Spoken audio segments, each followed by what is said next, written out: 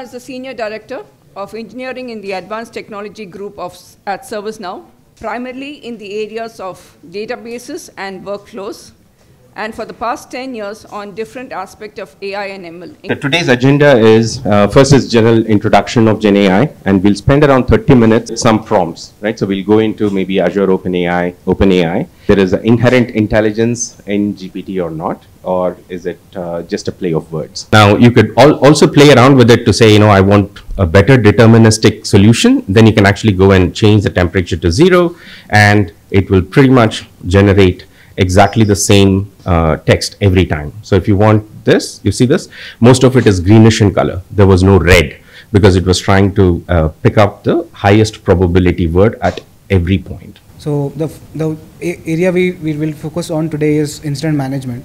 So let's say Alex is an IT agent. Now the, he starts by looking at what are the incidents that are, that are assigned to him. Alex looks at uh, the different incidents that are assigned to him today and he realizes that uh, there are a lot of issues that are related to Mac Pros and he finds it fit to create a knowledge article so that uh, it helps other agents figure out how to solve this particular issue. So what, what can Alex do now?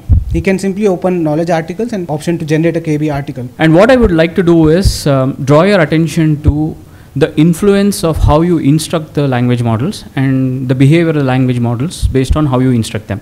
And that's very important because um, we saw already that these are stochastic in nature and they're going to produce uh, non-deterministic result. The problem again, as I said, it is inefficient and ineffective enterprise knowledge spread over multiple sources of information. It could be Jira, it could be documents, it could be Confluence, SharePoint, uh, videos, training videos, etc. So, and uh, typically the degrees of difficulty, the turnaround time, the delays, wasting time, uh, just the wait time between multiple teams asking for information. Uh, feeding all your data, internal knowledge base into the LLMs and making your search, whatever demos you have seen from ServiceNow, right, uh, on the LLM. So we enable all of that for your own knowledge base, for your own enterprise, internal use, hosted on-prem. So if a person have to upload their product on the e-commerce website, they have to have a knowledge of SEO. They have to have a separate background to, to, to be removed. As well as they have to do multiple, almost uh, have a content writer for the content description and all. So it took a very long period of time, some, sometimes seven to eight days to complete a total catalog to upload on a website. Each have their own standard. Amazon have their own standard. Myntra have their own. I come from 35 years of sales, marketing, global business development background. So I know the value of partnerships. I align partnerships, permanent marriages, and CIA Center of Excellence because they receive a lot of members, and we are also a member, and we are their most recognized deep tech partner. We get a lot of inquiries, opportunities, pitching opportunity, and we compete with lots of other competitors, and we won the contracts. We mainly work with schools, K-12 to start with. At least the first few rows you will have kids. Recently we opened a 30-seater office in Siddipet, the Siddipet IT Tower. We didn't come to T-Hub, Siddipet was a little cheaper. I think by then we had collected about 50,000 uh, papers, 50,000, about 10, 10 MOUs that were signed and we just had a presentation. but tries to enhance the lives of by using a workforce development uh, by upskilling mentoring and reskilling uh, so that they provide an opportunities. They lack a lot of uh, lack of engagement because they don't have a digital ecosystem in place. That's where we came into picture. We created a digital ecosystem for them usually who for the organizations who are into mentoring upskilling and reskilling in the united So to tackle this problem, uh, government has introduced a system called outcome-based education. To implement this outcome-based education system, campuses are struggling currently using their Excel sheet. So at Satellite AI, what we want to do is basically build or be where the application has to be very secure and has to work offline. Ramesh Loganathan is a professor, a renowned personality in the world of technology and innovation. Today, he is here to share his invaluable insights on building products for the future. Please join me in welcoming Ramesh Loganathan. Innovation is radical, innovation is disruptive. It doesn't always happen. Right? If you look at most successful companies, like look at ADP, the most successful companies doesn't come and suddenly ADP will not come and say like, okay, we'll stop doing what we're doing and do something else, right? It is like it is very subtle. So innovation is everywhere. It's like yes, a startup can come with a with a new product because they are starting from scratch and they can. And larger organizations also need to innovate and do innovate uh, to stay in business. We know what happened to Blockbuster. So they didn't. The writing was on the wall. It's a classic case study. Blockbuster video. They were everywhere. Like like a McDonald's. If you if you drive through U.S. countryside, if you can see a McDonald's, you'll see a Blockbuster. Abhinash is a seasoned product management professional with over 18 plus years of experience to MNCs over, the, over these years, solving people's problems and creating great product and product communities for people. Abhilash, we welcome you. I'm also the co-chair of this event. I will brief about come together and become the melting pot of ideas. So we bring up something out of it, get together and grow as a group and as a community. So we become global leaders uh, for global companies. Chandrasekhar is a distinguished senior director of product management at ADP with over 17 years of expertise in product management. He is a seasoned leader known for successfully launching new products, achieving product market fit, and driving imperative growth for Fortune 500 companies. I invite Chandrasekhar onto the stage, please. We have been following a principle of easy, smart, and human. Groomed internally in the recent past, in the last five to ten years. So, what does this really mean for all of us? So, as we kick off this Product Leaders Forum, I'd like to share some thoughts on the exciting future of product management.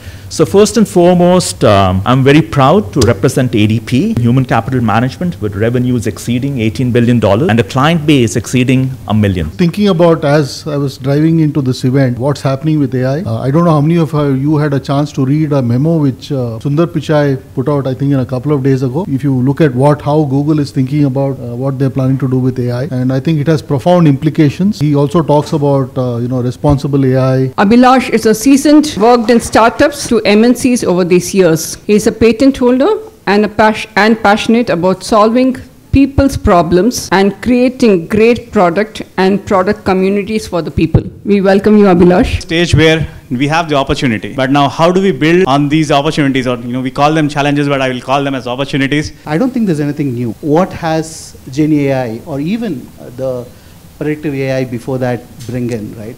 The first thing that it brings in is lots of data. The ability for us to collect lot of data, the ability for us to process lots of data is the opportunity that the technology has brought in. If you look at the privacy part of it, you all are familiar with the security statements, right? It's mandatory, irrespective whether the government is asking you to have a policy in place or not. A security statement is a mandatory compliance document as a person responsible for delivering a product in your organization is responsible for. That is comes from your business teams, from R&D. You all come together to have the documentation ready. I belong to a division in Microsoft. Immediate tendency say that we have enough data. It is about the preparedness of do you understand your data and what what was the intention or intent behind those data, how it has been collated, collected over a period of time. One of the examples, in customer has claimed that they have 100 years of data with them. So data is not an issue. Just bring the best algorithm and solution and we'll make it happen. In today's world, you also have some predefined models for startups to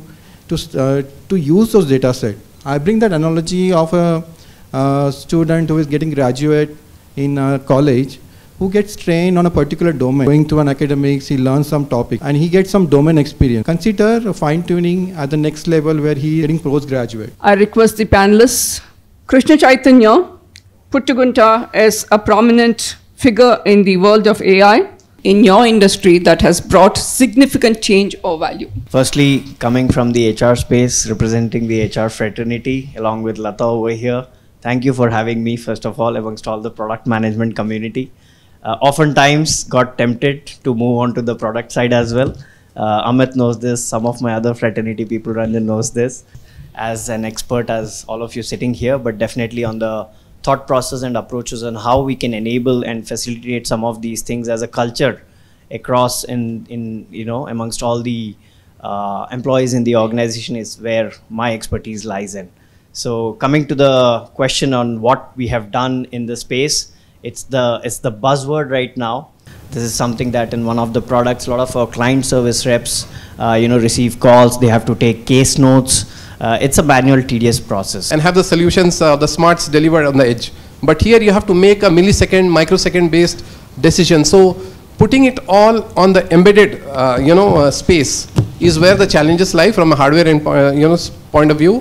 From a software and the compute point of view the amount of data is humongous. And with 5g 5g as you know is a higher uh, you know millimeter wave so a higher frequency um, kind of a communication carrier. So what happens is with higher frequency the kind of um, uh, range that gets reduced. You all know the AM radios used to have like countrywide ranges while FMs have citywide. And, and, and 5G has a few hundred meters, whereas 4G use, uh, goes in the two kilometer range. So because it gets absorbed so fast, there are far more towers and far more these devices which need to now talk to each other and far more data than ever.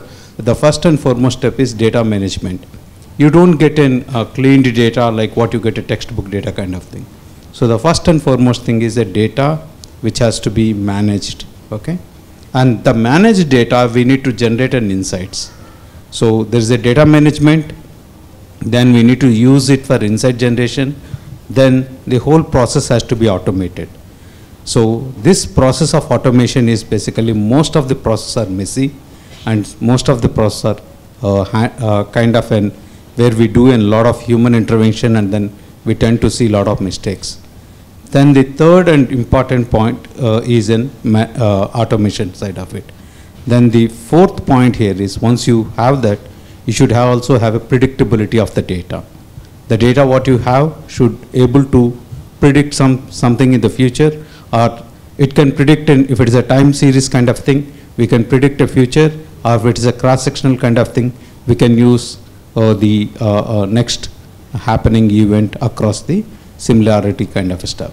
We've seen that design is a critical component in this industry, and uh, we thought we thought that you know, building a SaaS product that can um, sort of mechanize this process, there is some merit to doing it. I mean, end of the day, uh, I'm sort of walking you through the journey of an entrepreneur because that was the use case we pursued, right? Uh, what we've realized is while there is benefit, while there is merit to building such a product, monetizing that is very, very difficult. And we started digging deeper into the industry that we were operating in. A lot of people were happy to have AI produce interesting designs. I mean, what you would call prints. I mean, some of you are wearing fabrics which have printed artworks on top of them. It could be a woman's dress or a top, etc. Right? Produce designs that have an increased likelihood of success in the market. Right now, we are sort of bringing a scientific approach uh, to to sort of committing fabric and, and, garments. You know, here is a, here is the perspectives that I will bring in. There are three points of view that I will bring in. Right? What is changing in the landscape that you think we should bring about to help people get better at? This is a continuous question that I ask. That's the first perspective. The second one is the hiring manager's perspective. Because, um, you know, uh, almost about eight to nine companies every month come to hire at IPL, and uh, all of them are looking at different skills, uh, and are they changing? So how important is generative AI? Uh, are they looking for any of those skills right now for, while hiring? I want to frame what product management is. As I said, there is lots and lots of definitions, lots of lots of misunderstanding in the industry. I spent 25 years working as an engineer, 14 years as a product manager and product leader, and I work with hundreds of companies in, in when, which, which are trying to hire. Uh, for a hiring manager, when he, when he gets to screen hundreds of uh, resumes, be it 500, 600, uh, because of the volume of resumes or the candidates inflow of the candidates that they are getting, they typically go with uh, algorithmic uh, sorting kind of thing where they add some blind rules key, uh, four plus years of experience. And in fact, uh, GenAI can in fact even hide the details like uh, demographics of a candidate or gender of a candidate where you can configure in the products uh, which will reduce the biasing factor to a great extent. Problem of fairness and bias has existed f- since 1980s, right? Gen AI, just because the buzzword came in, nothing has changed. As academics, we are always afraid of change, right? So, so when things come along, technology comes in, we tend to fight it rather than embrace it. I see. See, one of the biggest uh, aspect is, I mean, today we churn out a lot of students, IITs, IIMs, or various universities but how well are they kind of uh, having an industry exposure? Because gone are the days of bookish knowledge, right? And we have ChatGPT and various tools. So I think the best way to bridge the gap is to give them real life, real time projects, and also have a lot of academicians to work in the industry so that they are able to go and translate and add value to the students so that the students understand the concepts and also how to apply these concepts on a day-to-day basis. So once these two are kind of mixed, that will really help the students. Stay informed about the startup ecosystem, subscribe to My Startup TV.